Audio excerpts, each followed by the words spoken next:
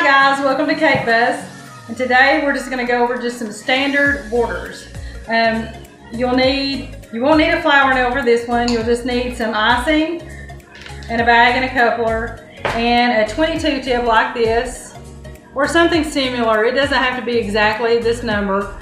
Uh, they make smaller ones and larger ones in a star tip like this. So just any of them will do. A 22 is the best. It's kind of standard. It uh, works the best for me. So just get all your stuff together. Come on back. We'll get started.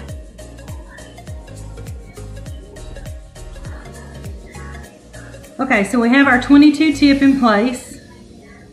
And we're to put it down at an angle like this. Can you see? An angle like this next to your cake. Get you a comfortable grip on it. Squeeze and pull down. Release and pull down. Squeeze, release and pull down. Squeeze, release and pull down.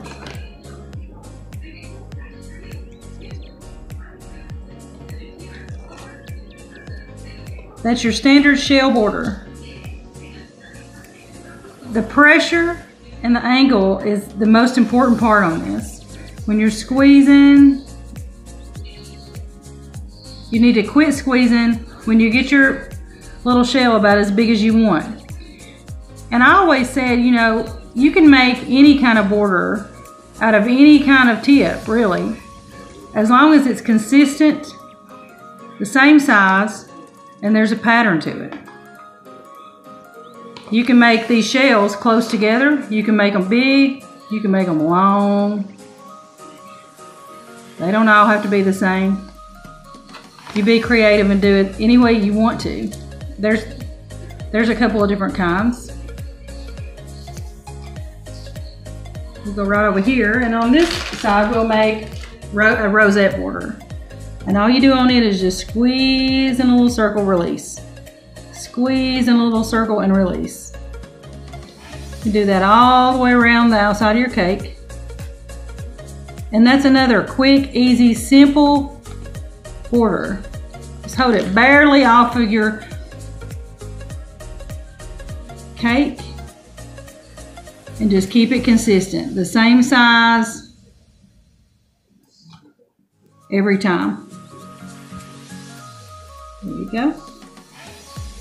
Then we'll do another pretty simple and easy one. I don't really know what this one's called, but I'm gonna show it to you anyway.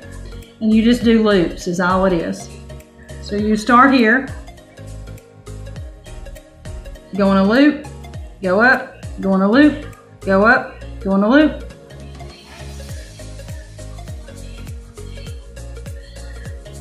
That's a really pretty border too, and it's really easy for beginner, beginners to learn.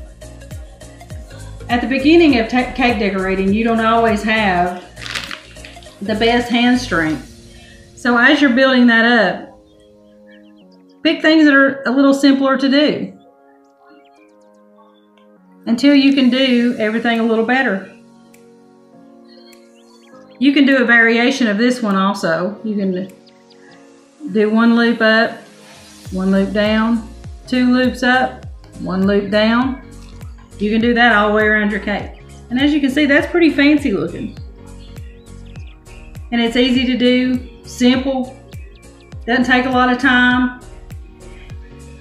Like I said, the, the main thing with borders is to keep them the same size, the same length apart, and the same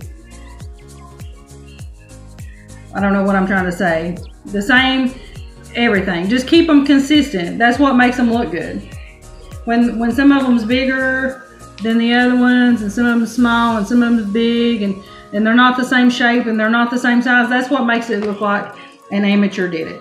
So if you just keep them consistently the same size, consistently the same amount of, of apart, it doesn't matter how you do it.